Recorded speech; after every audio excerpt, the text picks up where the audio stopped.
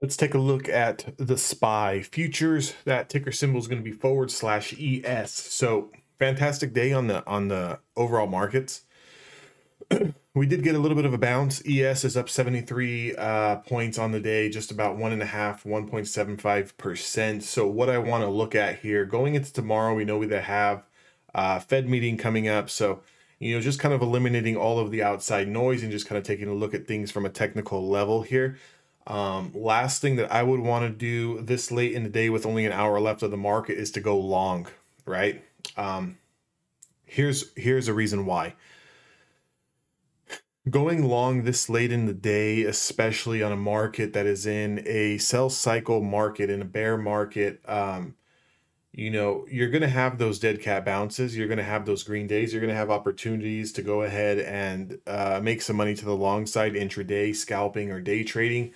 But the reason why I don't want to go long towards the end of the day, especially going into an economic event like tomorrow, especially um, coming into supply. So if we just take a look at the hour hour uh, chart here, 42, 44, you know, that 42, 49 is the 200 day moving average on the one hour time frame. You can see we had a great bounce coming off the bottom range here.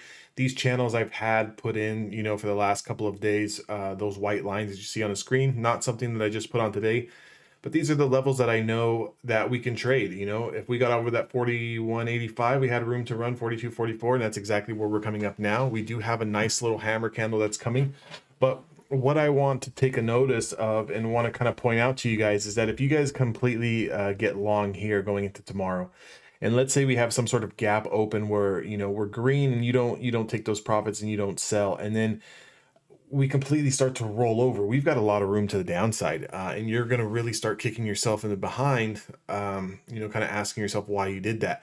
Whatever you like today, you're going to love tomorrow. So if you like the stocks today, you like the market today, you like the way that the futures are trading today, you're going to love them tomorrow. And what that means is if you just sit back and be patient, you know, you're not going to miss a move. Guys, the stock market's open five days a week. It's been open longer than uh, I've been on this earth, and it's it, it'll probably be uh, here long after that I'm on this earth. So the point that I'm trying to make is that you you don't need to really FOMO into these things. What you need to have is a game plan. You need to have a strategy. You need to understand price action, supply and demand. Um, you know, definitely, I would recommend if you guys want to trade futures, come to my Discord, trade with me. I'll give out these levels intraday. We can kind of go over this uh, you know, as it's playing out live. If you guys are looking for a strategy, evolutiontraders.com is my website. Uh, become a lifetime member, get some mentorship, get some some coaching. The best, uh, I feel, the best thing that you can do for yourself when it comes to trading is investing in the skill set. Once you learn the skill set, no one can ever take that away from you.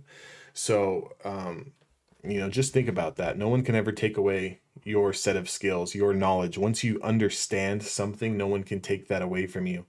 But if you don't understand uh, what's going on and you kind of just try to play these charts because you know you try to buy long because we're green at the end of the day, or you try to short because you feel like we're overbought, or you know you you try to short because you know oh the market you know it's not going to go any higher. You know this is normally when you're going to get your face ripped off nine times out of ten. But if you guys are looking to trade futures, maybe you guys understand a little bit of the concept, or you guys are trying to learn how to trade futures, but you guys maybe don't have the capital uh, I would ex- I would suggest go to the link in my description where um, you can. Uh, I'm talking about getting funded. So I work with a U.S. based prop firm. Um, you know, basically, you can get funded up to one hundred and fifty thousand uh, dollars.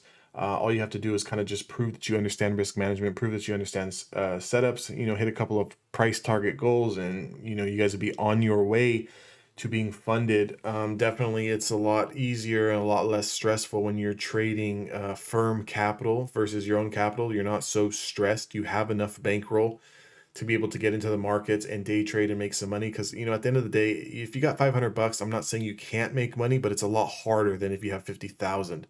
So some of the levels that I have on look for ES tomorrow is going to be 42.49. That's the 200 day moving average on the one hour time frame.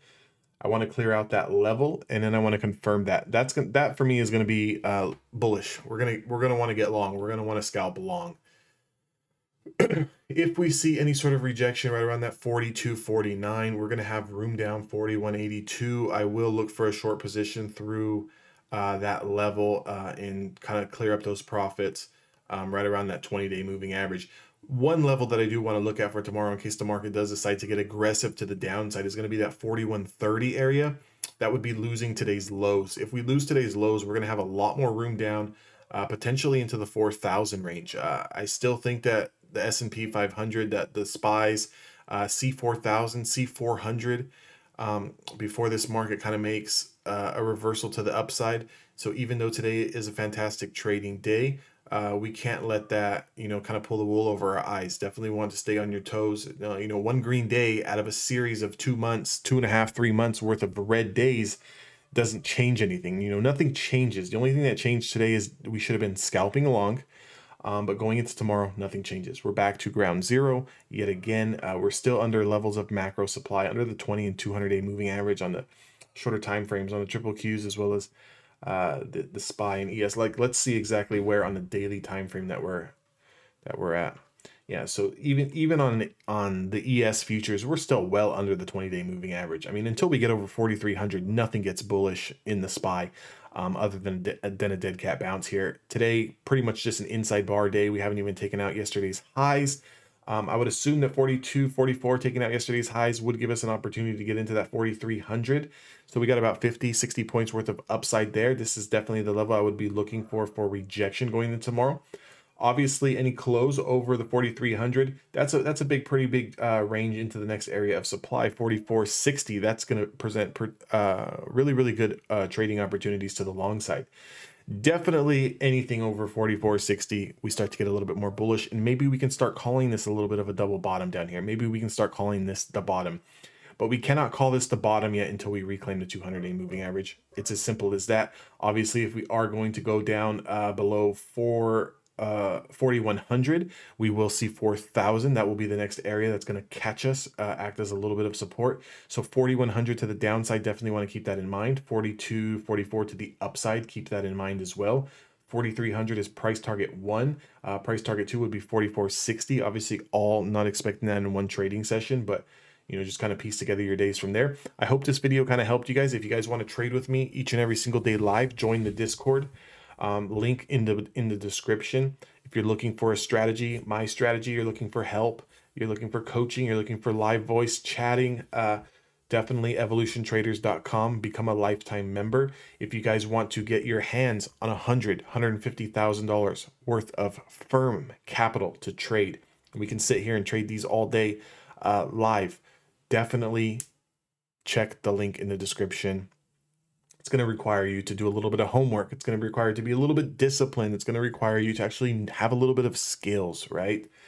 So definitely, I would not invest, uh, you know, in going that route if you if you do not plan on taking this business seriously. Because the moment you think that this game is easy and you treat this as, you know, some sort of lottery or some sort of um, casino, you are going to get destroyed. Uh, don't forget to subscribe to the channel. Don't forget to leave me a thumbs up. I will see you guys all on the next trading video. I'm going to see you guys. I hope to see new people in the Discord this week. I'm very, very excited to always work with new traders. Our trading room is growing. We're doing big things in 2022. Uh, a lot of people, a lot of traders are becoming profitable more and more each and every single day. Um, it's kind of like, you know, as they're learning, they don't real uh, really necessarily need my help on a trade by trade basis anymore. And that's the overall goal. Um, you never want to have someone completely hold your hand each and every single day, tell you where to buy and tell you where to sell. You want to possess that skill set on your own so you do not need help from anyone else. But in the beginning, it's going to take a little bit of help. It's going to take a little bit of pushing and it's going to take a little bit of discipline on your part. Um, just keep that in mind as well. Until next time, guys, I'm going to see you guys all in the next trading video.